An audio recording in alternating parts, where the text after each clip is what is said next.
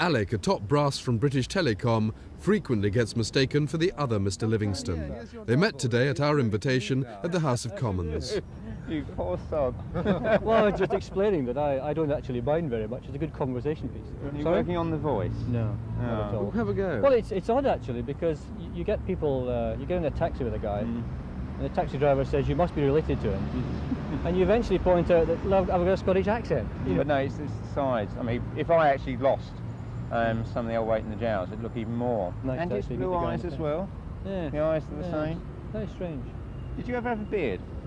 No. No, I, I, my beard looks a bit like an I- old toilet brush, so I only had Yeah. it for a short while. I thought about it for a while, but it didn't work very well, so I gave up. Do you collect nudes? Absolutely not. No.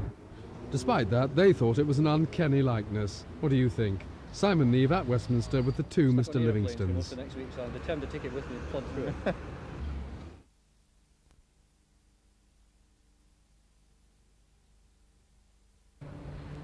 真的。